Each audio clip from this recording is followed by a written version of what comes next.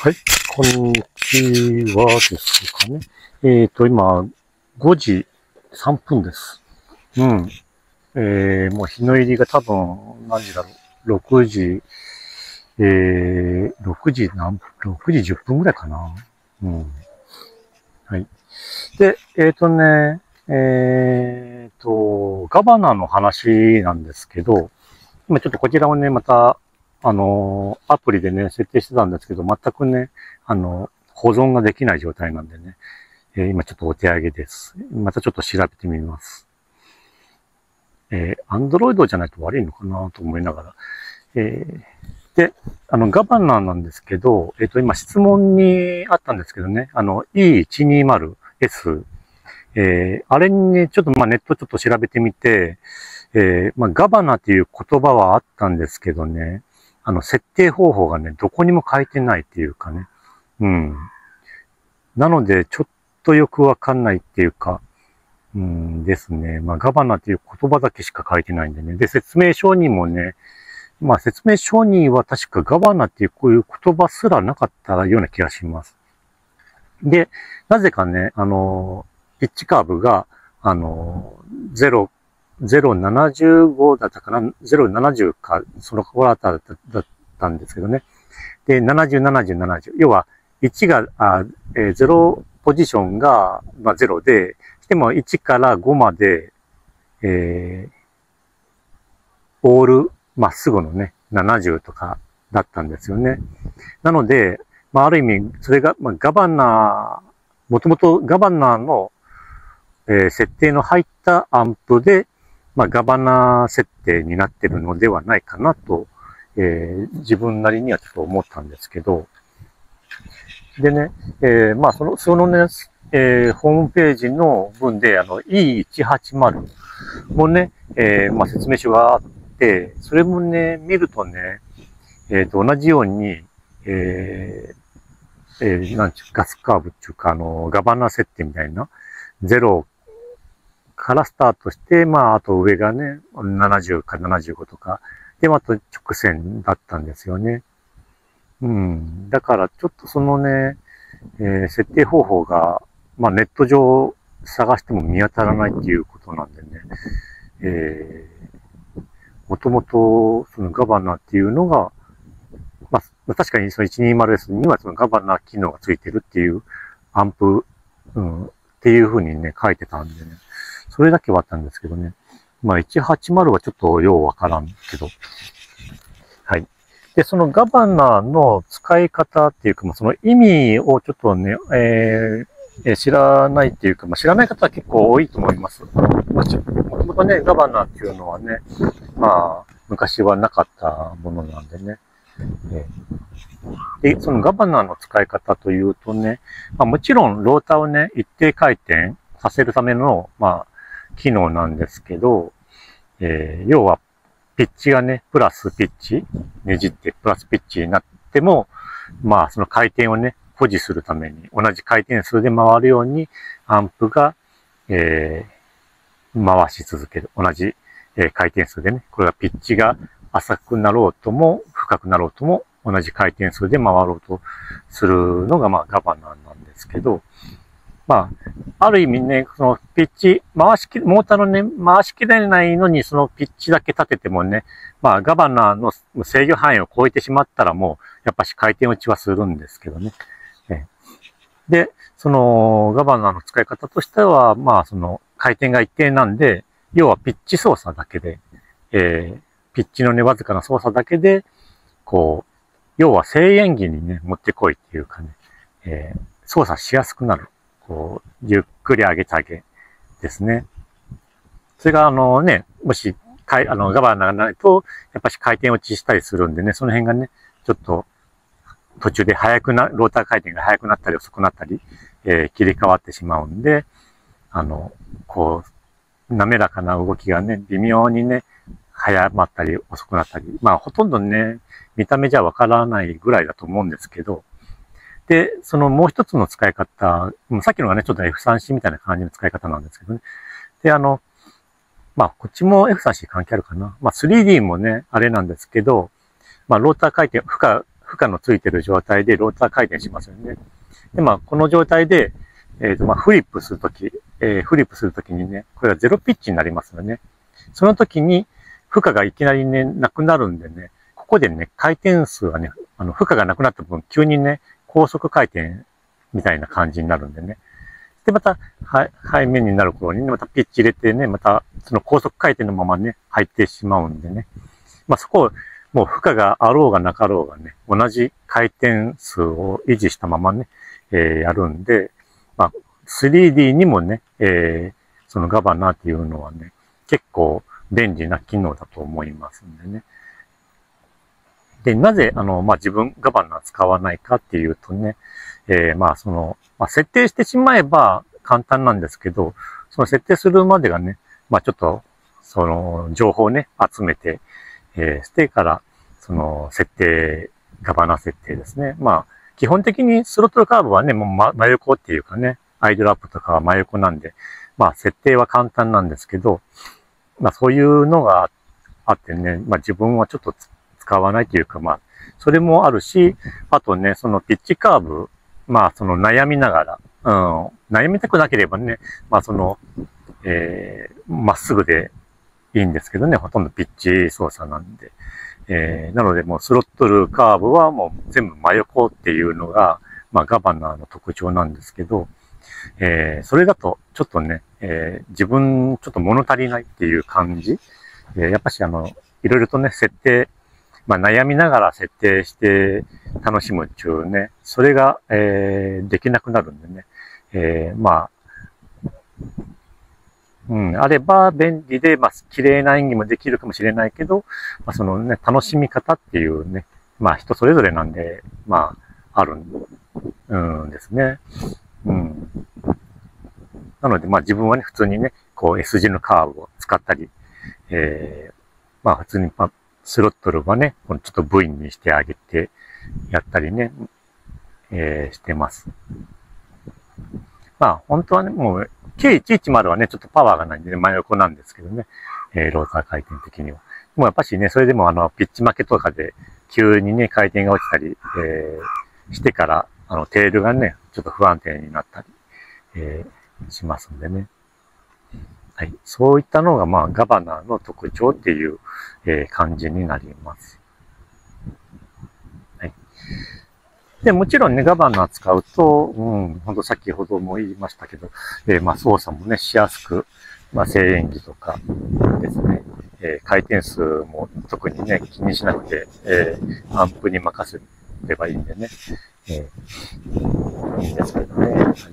まあそういった感じです。えー、なので、まあガバナ派と、まあそれ使わない派っていうね、結構分かれてきますしね。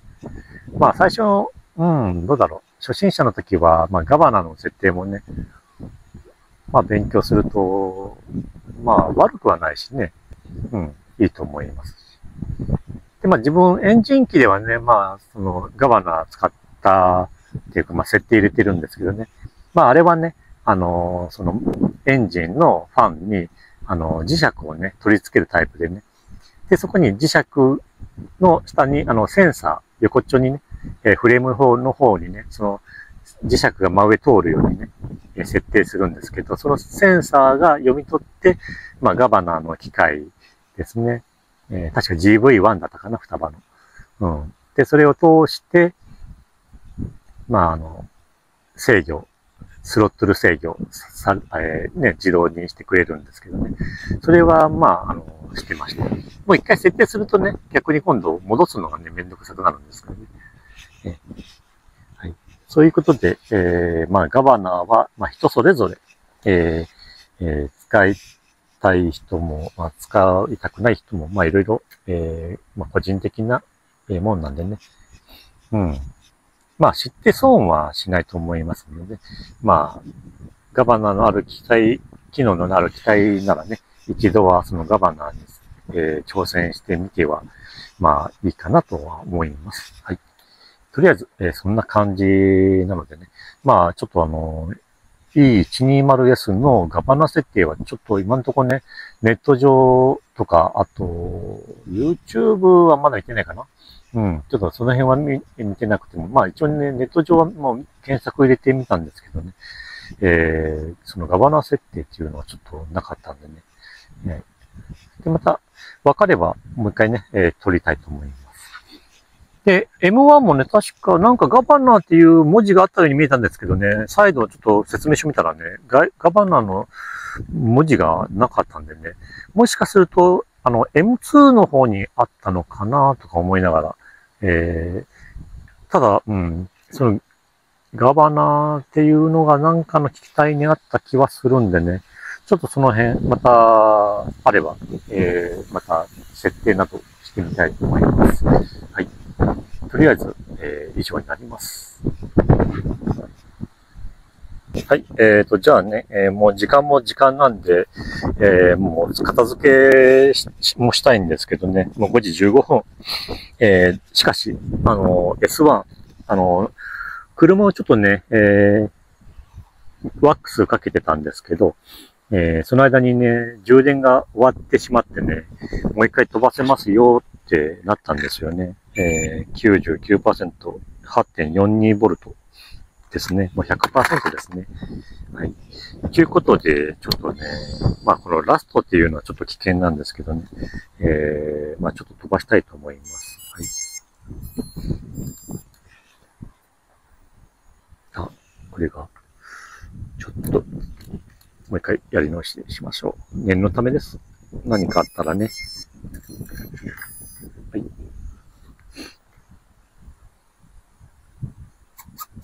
はい、モーターカットして。そして、えー、ここが、ローターが真横の方がね、入れやすいんでね。うん。なんか、ちっちゃい機体がね、どんどん増えていってます。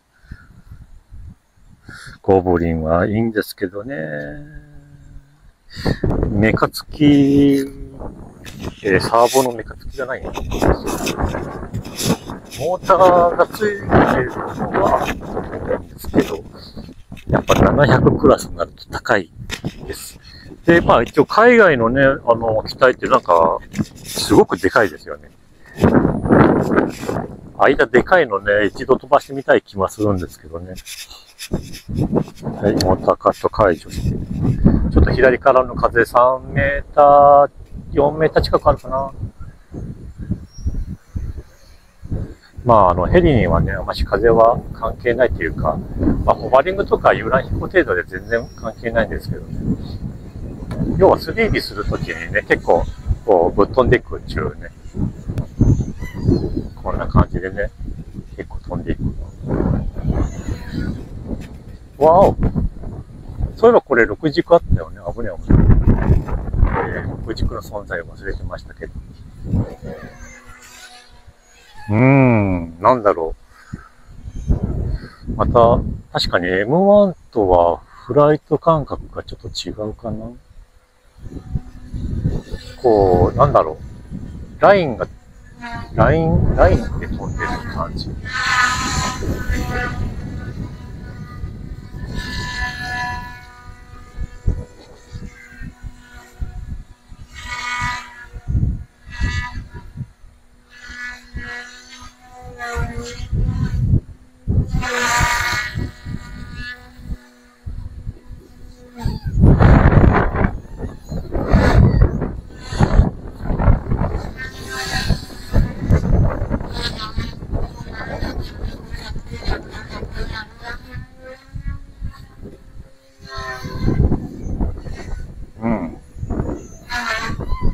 こう、やっぱ初めての機体はね、あの、なんだろう、挙動がね、他の機体と微妙に違うんだよね。特にこのサイドメトロなんか、これすごい弾けるね。あのー、フリップレートは結構遅いっちゃ遅いと思うんだけど、うん、縦はやっぱしちょっと遅めだと思う。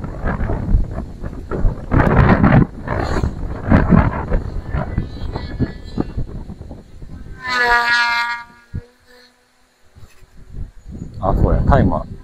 はい、カット。そろそろやばいかなと思ったんで、ちょっと下ろしましょう。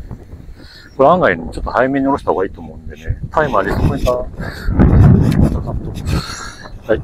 後でね、え、動画を見てタイマーちょっと考えようかなと思います。だいたいいつもはね、3分ぐらいの設定にするんですけど、これどうもね、さっきも11%まで減ってたしね、えー、その辺がちょっと怖いんですよね。はい。えっ、と、今のでも多分2分半ぐらい近くは飛んでるかな ?26% ですね。やっぱし、えー、早めに、気持ち早めに終了した方が良さそうな。うん。まあ、機体はね、結構弾けてるし、いいんですけどね。今、ちなみにスロットルがね、えっ、ー、と、アイドラップが、なんだ？どこだ？あ、間違った。ん？ポジション？ですよね。あ、これポジション一気に飛ばねえんだ。はい。60フラットですね。60フ、60か。60であのサイドメトロができるんだね。すごいな。これ100にするとどうげなんだろう。うん。結構オーバーパワーすぎるけど、ちょっとそれに、えー、電池の容量が見合ってないような気もします。はい。もうちょっと飛ばしたいなって、あともう1分ぐらいね、飛ばしたいなと思うんでね、多分300じゃなくて、やっぱし400、400ぐらい、400か400、うん、450とかぐらいが欲しいかなっていう感じですかね。うん。まあ本当ちょっと、ちょっとの飛ばす練習、練習じゃないな、これもう本番機みたいなもんですね。はい。以上になります。